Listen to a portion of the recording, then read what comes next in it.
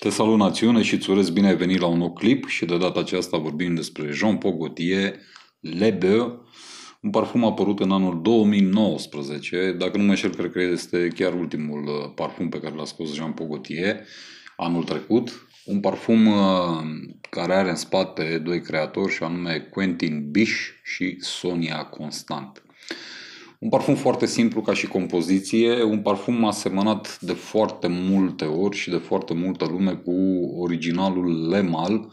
Sincer să fiu și eu găsesc uh, destul de multe similitudini cu originalul Lemal de la Jean Pogotier, um, însă nu până în punctul în care să spun că sunt două parfumuri absolut identice. O compoziție foarte simplă. Trei elemente principale se evidențiază în acest parfum, și anume notele de vârf bergamotă, notele de inimă nucă de cocos și notele de bază fasole tonka. Atâta tot. Nimic altceva. Mirosul însă este în mare măsură aproximativ similar cu originalul Lemal merge exact pe aceeași rețetă de parfum pentru mase, de parfum pentru persoane tinere, pentru împătimiții de parfumuri dulci. Nici asta nu face excepție. Este un parfum foarte dulce, sincer să fiu, și nu mă încântă absolut deloc. Nu sunt mare fan al parfumurilor dulci, apreciez dulceața într-un parfum dată de anumite elemente, dar nu parfumurile dulci zaharate bombele dulci, cum este și Azaro Wanty, de exemplu, care din punctul meu de vedere rămâne cel mai dulce parfum pe care l-am deținut și mirosit vreodată în viața mea. Tocmai de aceea nu-mi plăcea nici originalul Lemal uh, și în general nu-mi plac parfumurile din seria uh, asta, Lemal, uh, dacă vreți, de la Jean Pogotier. Mi-au plăcut și îmi plac uh, cele din seria Cocorico, de exemplu, Cocorico, clasicul Cocorico by Night.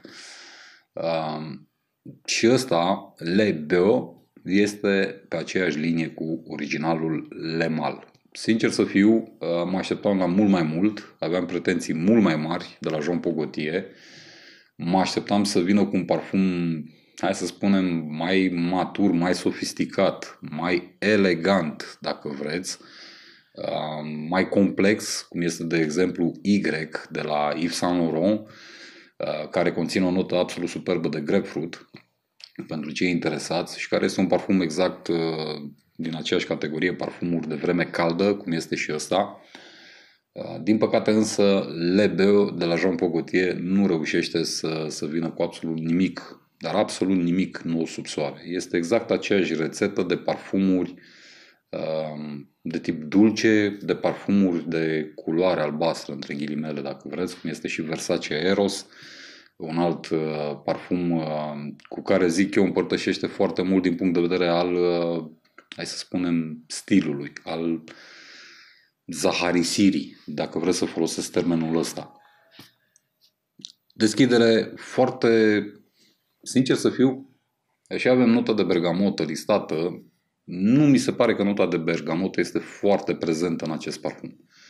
Mă așteptam la mult mai mult. Mă așteptam cu adevărat la o deschidere foarte citrată, uh, foarte revigorantă, foarte proaspătă, în egală măsură foarte zemoasă datorită notei de bergamotă. Din păcate însă se sizez doar o mică, mică, foarte mică fărâmă și ulterior din spate amândouă celelalte note din acest parfum vin și preiau conducerea complet a parfumului și anume nota de nucă de cocos și nota de tonka. Automat parfumul se transformă în ceva foarte dulce, foarte, foarte dulce și este doar un amestec dintre nuca de cocos și uh, boabele de tonka sau fasolea tonka. Nimic altceva. Un parfum extrem de liniar, de la început până la sfârșit. Performanța acestui parfum însă este una decentă, zic eu, chiar bună, chiar foarte bună. Undeva în zona de 10-12 ore stă la nivelul pielii mele, cu o proiecție foarte puternică în primele 4-5 ore, urmată de o proiecție moderată aproximativ 3-4 ore, iar până la sfârșitul purtării parfumul va continua să transmită adieri, însă așa cum am spus, adierile sunt de, de ordin dulce, sunt adieri de gen vată de zahăr pe băț. Exact asta este senzația pe care mi îmi transmite mie acest parfum cu o foarte mică infuzie de bergamotă, foarte mică, care are doar rolul de a, hai să spunem, înviora puțin compoziția dintre nuca de cocos și uh, nota de tonka. În rest, nimic altceva. Nu este un parfum care mi se adresează mie, evident, niciun astfel de parfum nu mi se adresează mie. Am alte gusturi în materie de parfumuri. Este un parfum pentru tineri, pentru, a spune, consumatori uh, până în 30 de ani. N-a zice că până în 25, a zice chiar până în 30. Un parfum de tip uh, Paco Rabanne 1 Million, dacă vreți, uh, genul ăla de parfum gen Versace Eros, făcut să stea mult pe piele, extrem de sintetic în aceeași măsură. Acest Lebeo de la Jean Paul Gaultier nu se sizez absolut nimic natural în parfumul ăsta, din contră. Totul mi se pare foarte sintetic, până în punctul în care, la un moment dat, sincer să fiu undeva prin inima parfumului, am impresia că s-a regăsit și niște tonuri metalice deși n-am, n-am găsit pe nicăieri, uh, în timp ce m-am informat cu privire la acest parfum, uh, n-am găsit pe nicăieri ca aceste tonuri metalice să fie listate. Însă, până în punctul ăla, mă duce, uh, să spunem, um, stilul acestui parfum cu gândul. Categorie de vârstă până în 30 de ani. Dacă ești un consumator matur și ai depășit faza asta, atunci cu siguranță nu este pentru tine un parfum de timp liber, un parfum de... Sincer să fiu, nu l-aș vedea purtat a fi uh, vara, de exemplu, pe căldură toridă. Da, hai să zicem că un parfum de vreme călduță, vreme caldă, dar nu l-aș purta, așa cum am zis, în temperaturi extreme vara. Un uh, parfum de club, de ieșit în club, de exemplu, acolo și-ar face cel mai bine simțită prezența un astfel de parfum un parfum pentru majoritatea maselor, un parfum creat spre a fi vândut în cantitate cât mai mare și din păcate, din punctul meu de vedere, care împărtășește foarte mult cu originalul Lemal. Sincer, inclusiv la capitolul miros. Originalul Lemal era mult mai complex pentru că avea foarte multe note în compoziție și efectiv acolo puteai să resimți notele citrice, Însă cam mai ar fi singura diferență dintre cele două. Mai mult decât atât și originalul Lemal, exact ca și Lebeo, ă, transmite aceeași tentă de zaharisit, aceeași tentă de dulcegărie, aceeași tentă de uh, parfum făcut pentru mase. Repet, nu mi se adresează mie, dar cu siguranță se adresează multor altor consumator cu uh, gusturi total diferite față de ale mele. Din păcate însă, Jean Paul Gaultier Le Beau, din punctul meu de vedere, în concentrație de toalet, nu este un parfum pe care eu l-aș cumpăra.